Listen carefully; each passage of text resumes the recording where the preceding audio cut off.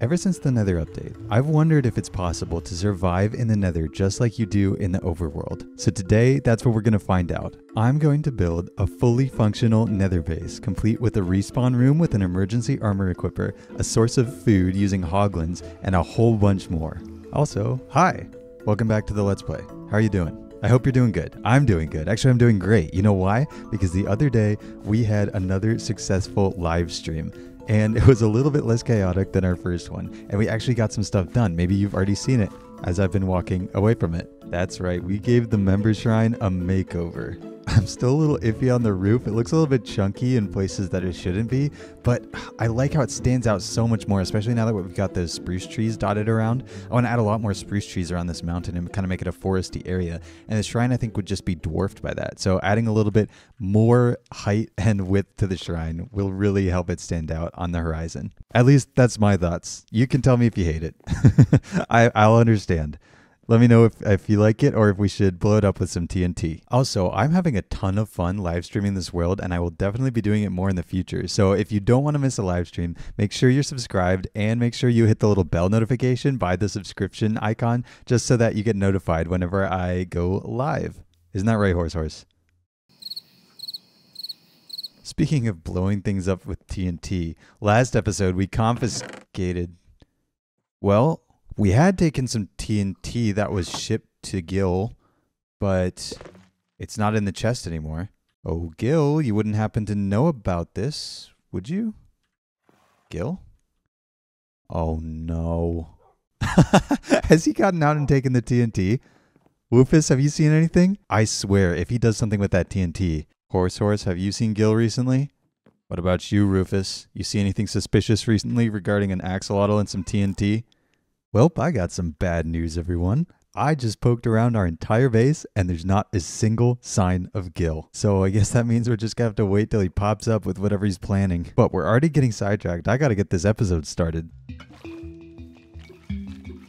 I'm an armor stand. Hi. Oh, I think I just punched myself. Before we get started on the nether base, I have 50 levels, so we're gonna see if we can get some more enchantments on our super mega ultra awesome dragon slaying armor, which is currently not looking super hot. The helmet and the chest plate look okay, but I need some better enchantments on the pants and the boots. What the heck? I did not know they do that. they just jump around? Oh, is it because I have knockback on my sword? Yeah, it is. That's funny.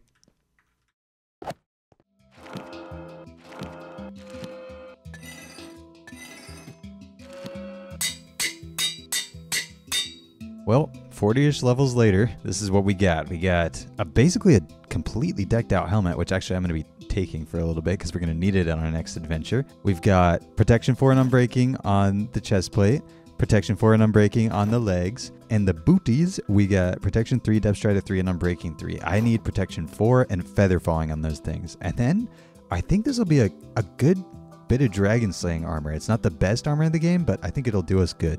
I also just spent a few minutes creating this. The soup ladle. All our shovels have been fortune shovels so far, and I need a silk touch one for what we're doing next. I needed to do a little bit of resource gathering before we could start building, and the reason I grabbed that respiration helmet and made a shovel with silk touch on it was because we were heading out to the ocean. You see, underneath the waves is a nearly limitless supply of gravel, which we need for concrete. The other ingredient, sand, just happens to be in abundance along the beaches next to the ocean.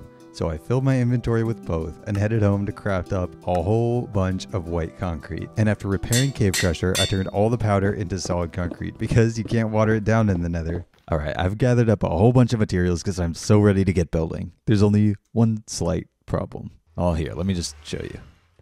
Our nether portal is currently on the side of a cliff, which I guess would be fine if we were goats, but we're not goats, are we? Actually, what are we? What are are Minecraft characters considered like humans or are they actually like a type of mob in the world? That's some food for your brain today. I guess it would make sense if we were like a type of inhuman mob because of how much stuff we can carry on our person at once. That's weird. I've never considered like Steve to be anything other than a person, but I guess he might be. Don't mind me. I'm just coming back to grab my hat because I'm scared to go in the nether without it.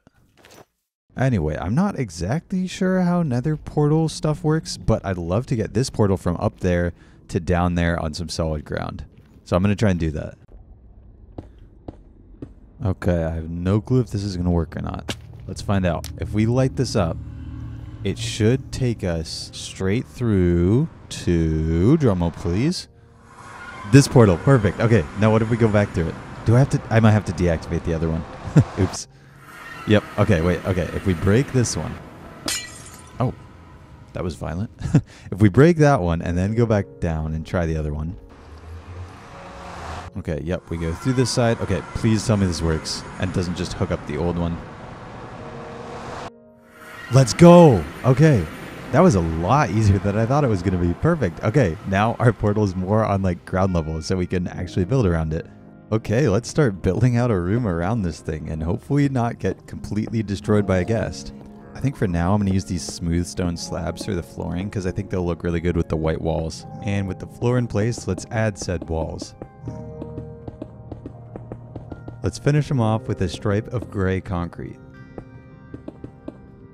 and then white again for the roof. As the build came together, I also ended up adding a stripe of gray concrete along the bottom. I also added this one to the side of the building because I had this cool idea where if we build other nether portals to other structures in our world, we could build other bases like this around them, and this is the first base. Okay, so I got a little bit carried away and built the rest of the interior of this room, but it's still lacking some details. So let's take a second and go through and add some stuff around. This room is like kind of based off my memories of Stranger Things a little bit. It's been a while since I've seen that show, but I remember there being some sort of lab with like a big old like observation deck and then the portal across from it. So that's kind of what I was trying to mimic here.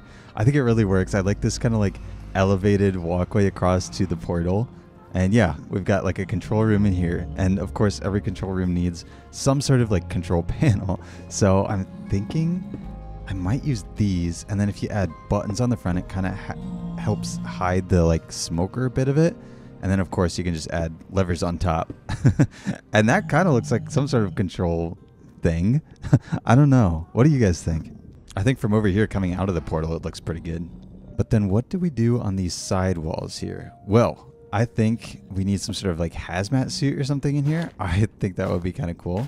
So let's put that over on this side. And then on this side, I don't know if you know this, but compasses in the nether, they kind of just like randomly point to whatever, I think. And it makes really great spinning dials. So I think, what if we just put like a row of them there? Like they're like calculating something. I don't know. We're watching the power levels of the nether portal or something like that. That's kind of mesmerizing. I like that. It still seems a little blank in here, but I'm not sure. I might need your guys' help to figure out what else we can put in here to make it seem complete.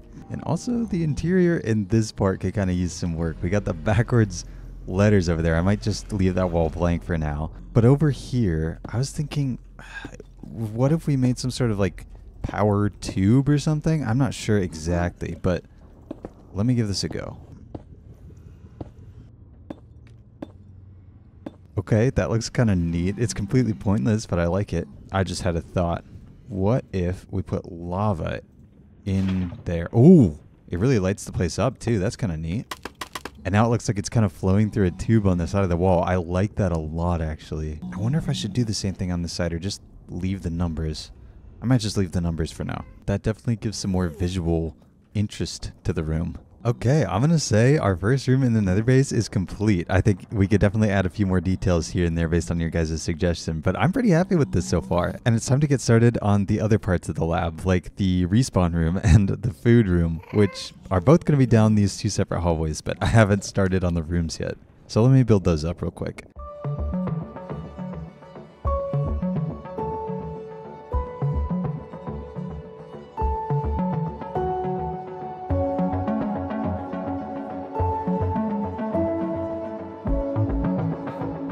Okay, I built two more rooms, but they're very, very blank right now. Actually, it kind of looks like the inside of like an insane asylum. Oh man, I kind of feel like I'm going insane building this with all the pig noises around me.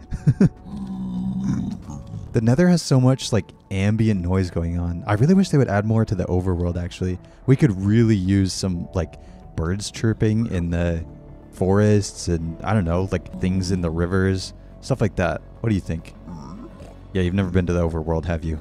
Maybe one day. anyway, yeah, these two extra rooms are done, and I think we're going to start by building the respawn room. I want to put a little platform to respawn on, an armory equipper, a chest for like keeping food and stuff, and then I think I'm going to make kind of like an airlock door over here so that you can get easy access in and out of the nether. Because we're protected right now, but if we hit one of those pigmen, or if a ghast shows up, things are not going to look so great out there. So I want to have easy access into and out of our base. And I guess you can just chill here too. All right, let's see if I'm smart enough to actually make this work. So there's those. We need more right here.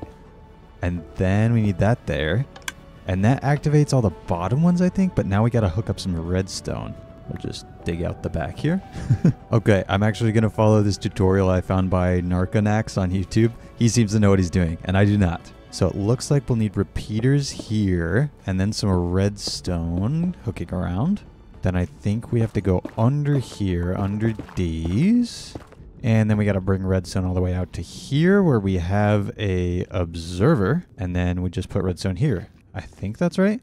I guess there's one way to find out. Well, let's add a piece of armor to each of these. And then for my other two, I'm actually going to put a sword and a shield.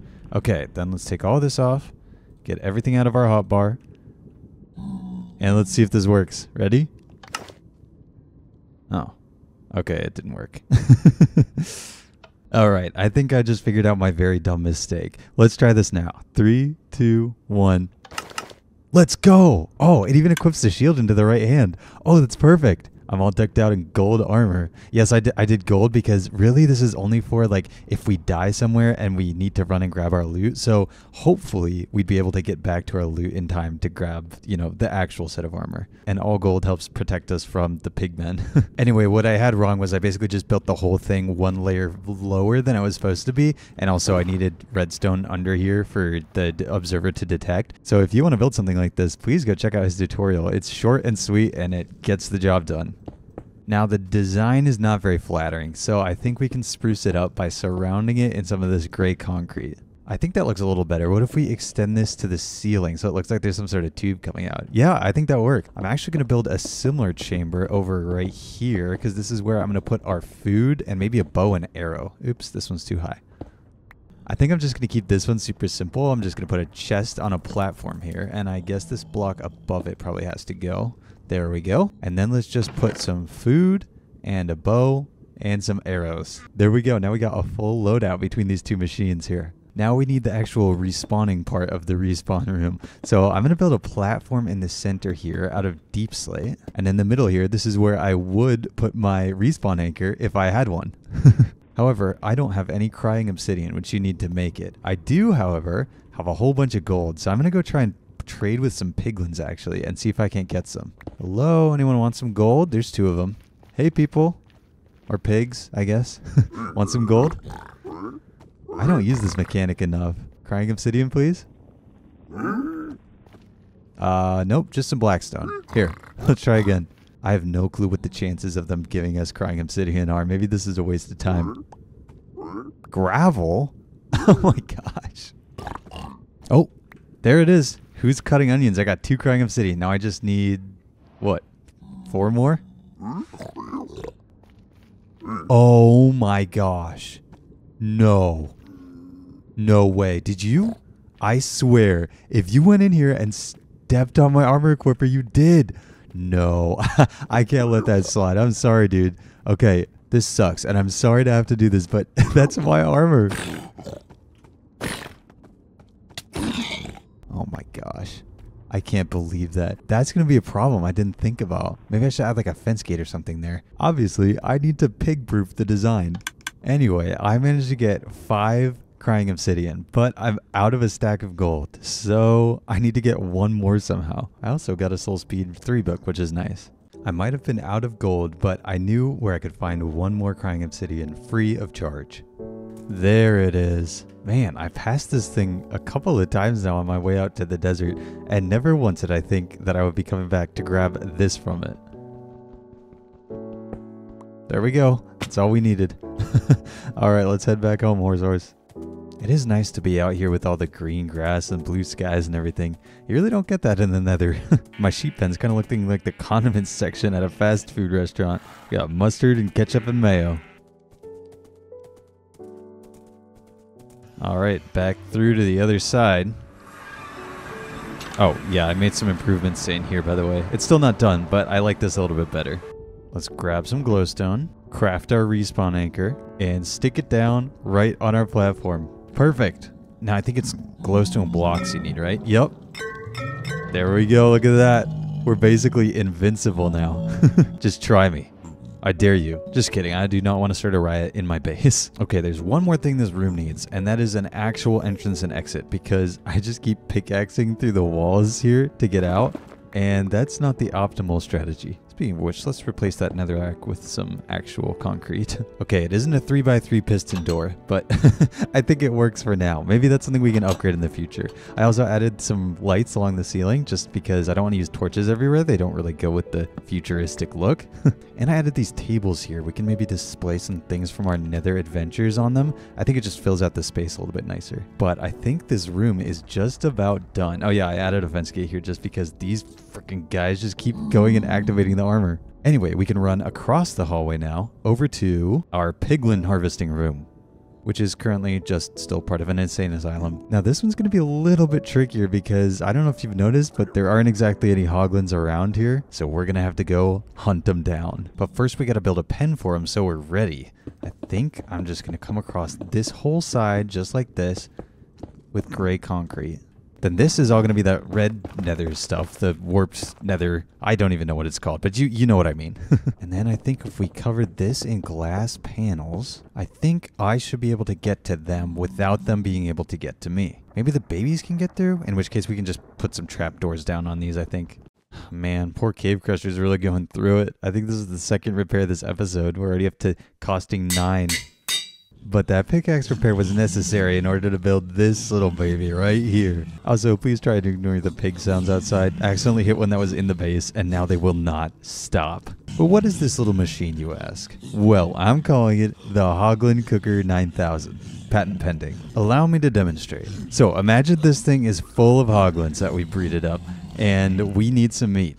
Well, let's just say we come through with our sword and chop a few down. The meat's sitting here. I know this is mutton, just ignore it. Maybe it was a, a sheepish hoglin. Anyway, all you gotta do is press this little button here, and if everything works, it should, in one short moment, one short moment I said, okay, maybe two short moments. okay. Uh, Oh, there was a button in the in the in the furnace. Oops. Yes, in one short moment or a couple short moments, I guess, this thing will produce some mutton for us. Or actually, it's it's gonna be pork. It's gonna. I can't think with these freaking guys outside. Would you please shut up? Look at them all. Hey, you can't get in here. Na na na na na. Anyway, yes, that's that's my invention. And if you want to know how it works, well, it's not really that hard. It's basically just a minecart that you press a button, it powers, goes around here, it's got a hopper in it. It comes down here, picks up all of the loot, comes back around, goes up the track, and then deposits it into the uh what you, the pig sounds. Oh my gosh, the smoker. it, it puts it in the smoker. And there you go. That's that's how it's done. Also, please disregard the fact that I built it one block over from where it was supposed to be. It's in the right spot now. Or maybe you didn't even notice that it was in the wrong spot, and by opening my big mouth, I just yapped on myself. Maybe I just played myself. Who knows? Anyway, it's in the right spot. That's all that matters. And it's got a little light that blinks when you turn it on. Look at that. But Soup Soup, I hear you saying, how are we going to feed the hoglins? Oh, torch. In order to breed them. Well, that's what this machine behind me is for. I'm calling this one the Hoglin Breedinator 9000, patent pending. All you got to do is just click this lever, and you get a little bit of fungus, or whatever. What is it actually called? Yeah, crimson fungus. There we go. And then you just take all this out, and then you flick the lever again, and you get a little bit more fungus. There you go. Infinitely repeatable. And if you want to know how this one works, well, let's go through this door. You just follow this hallway right around here, and it's basically just a bunch of dispensers with bone meal pointed up into the nether, uh, whatever you call it, crimson nether stuff. And then they're all redstoned up to observers that look into each other and send off a pulse every few seconds. Yeah, that's it. It's basically the same thing as my magic haystack in my barn, if you've seen that. But now we've got all the infrastructure in place, so it's time to go hoglin hunting. Here we see the wild hoglin in their natural habitat. He's on the hunt for his next bit of prey. But we have different plans for him. Sorry, that accent is terrible. Hey, buddy, want to chase me? Please? Yes. Okay, keep chasing me. Shoot. Where did I come from? Okay, now we have a long journey back, all the way over here. You can do it. You can do it. Across another bridge. You got it. Run those fat little legs. Can you make it up here? I think you can. You can. Shoot. Okay, let's go. This is the most precarious pathway I've ever built. No, he's running away. He's running away. Come on. Come on. Chase me. Don't give up now, dude. We're right here. Okay, I think he is scared of the nether portal, so I'm just deactivating this for now. There we go. Oh, maybe. Yes. Yes. Come on. In here in this hallway. Keep coming. Boom, I think we got him. okay, there's one down. I really hope he doesn't despawn. I fed him a fungus just in case. I just realized bringing the second one is going to be twice as difficult because now there's one already in the chamber we have to avoid. Okay, I made a way to get in through the roof now, so this shouldn't be quite as hard. Now we just gotta go find the second one and pray that this one doesn't despawn while we're gone, please. There we go. All right, Hoglin number two, baby. Let's get going. Shoot, that's not what I meant to do. All right, I just gotta find a place to get out and not have the freaking Hoglin destroy me. Where is he? Thank God for my fire protection armor. I'm panicking. Oh, he's trying to get down to me. Um. Okay. Oh, man. I'm panicking. Okay, I'm harvesting a whole bunch of netherrack. I think I can bridge up and over here and he won't come for me.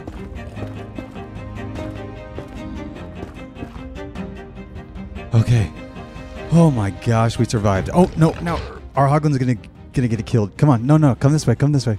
Make sure not to fall off any ledges again. Just good old classic Minecraft, you know? Nothing like bringing a monster home 100 blocks so you can trap him and farm his meat. in the hole, in the hole, in the hole. Let's go. We got him. Seal this back up and we'll just break through the ceiling here.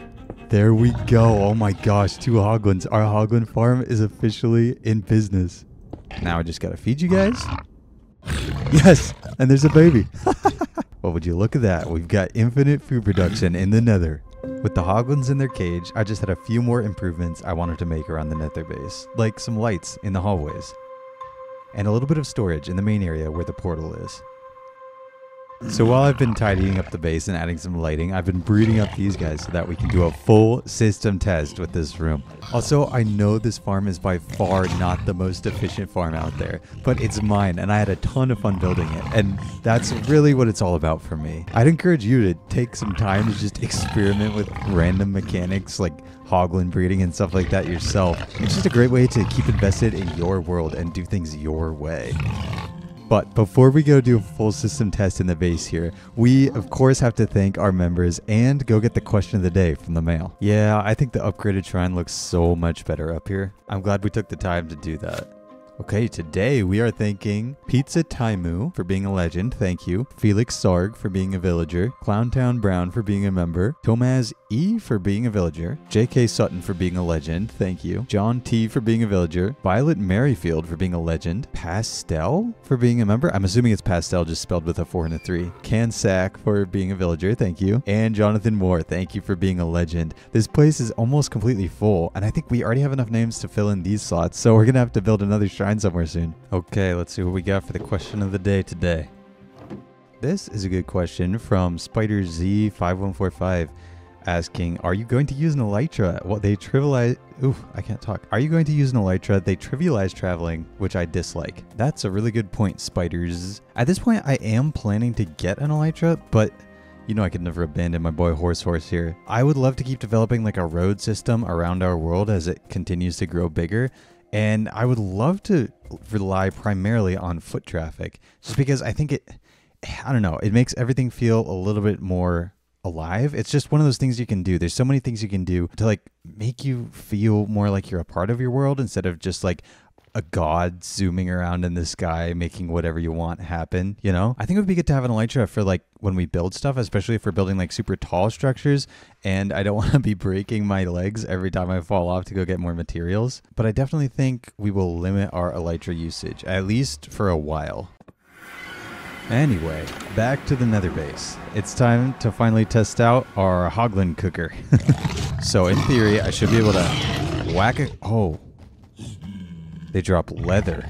Okay, I'm gonna have to add a sorting system for sure. But I should be able to whack these guys. And then we press this button. And the minecart picks everything up except for this. Oops. Okay, the leather came through first. Oops. There we go. Flawless. Of course, it works perfectly without a hitch.